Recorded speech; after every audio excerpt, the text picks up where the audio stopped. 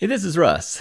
I don't know if you guys watched the Saturday episode of Russ is Right, but I wanted to add something to that today. Uh, one thing I forgot to mention on that video. Uh, lately, I have still been getting some zingers. Now, the zingers had gone away for quite a while, but all of a sudden, they're coming back. So, um, okay, for those who don't know what a zinger is, if you're a knee replacement guy and you don't know what it is, believe me, you'll know what it is later. I think it's the nerve endings or something trying to reconnect. I mean, because really they cut through everything when they when they open your knee up, right?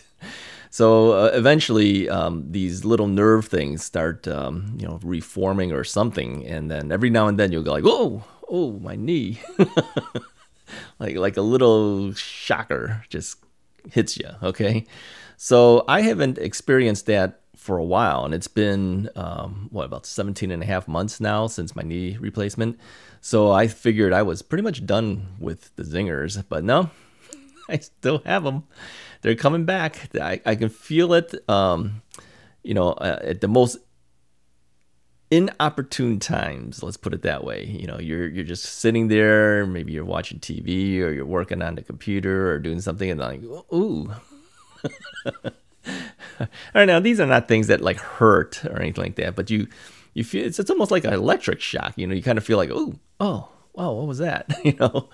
So um, just to let you know, those things aren't 100% gone. They're still there. So apparently, it does take a little more time to get through that. Now, I want to mention too about my scar. All right, um, I haven't shown it this month yet. Again, I'm holding that off for the, the 16th. That's uh, 16th, the 19th. Oh, the 19th. I usually take the picture on the 17th, something like that, and then I'll do the video and I'll show it to you guys on the 19th. But um, it looks pretty much the same.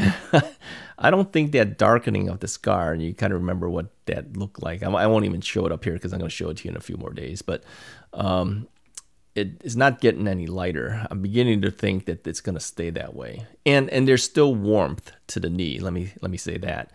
Uh, the knee, when I touch it, you know, even in the morning, I just get up and I kind of feel my knee. Uh, I can feel that it's still warm. So um, they they they've said that you know if your knee is still warm, you're still healing. Well, I mean, come on, man, it's been 17 and something months now, and um, I'm still healing from it. It doesn't. It's not the same temperature as the non-operated knee. So um, just to let you guys know, uh, it's a long journey, that's for sure.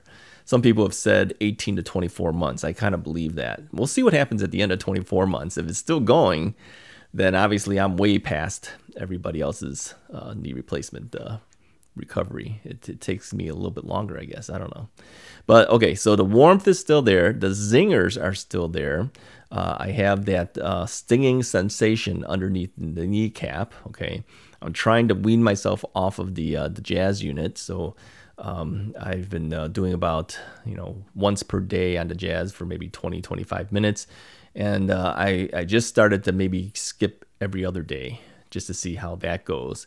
And I do feel a little tightness, more tightness in terms of turning the knob on the knee uh, on, the, on the JAS for the knee, and um, that's probably because your your leg isn't used to being pushed in. It's been relaxing for a while, so then you need to give it a little bit more to push it a little bit more.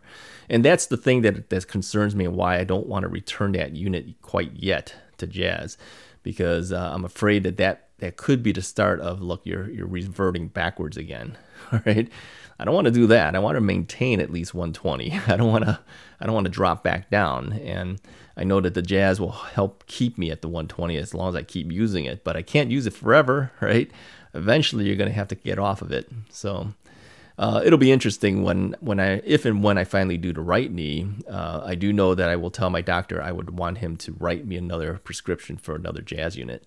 Um, because I know that that's the thing that's really been keeping me um, pushed when I'm not at physical therapy. All right, I I know other people have used uh, things like um, like belts or anything like that, put it on their leg and pull it back themselves. But that that varies. You know, if you if you let up tension from from holding onto that belt, um, you're you're no longer at that that tension range. But on the JAS unit, once you turn it in there, you know you turn that knob and then you just let let go. It's gonna stay there until you turn the knob to get yourself out of it. Okay.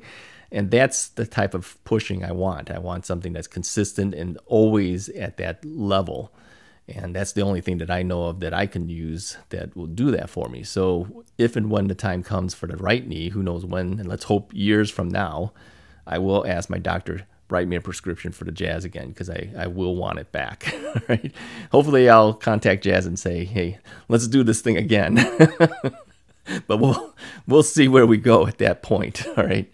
Anyways, I just wanted to give you a quick update. Uh, we'll do the final update for the month on the on the 19th of the month, and then that's when I'll show you some photos and stuff. All right. Talk to you guys next time.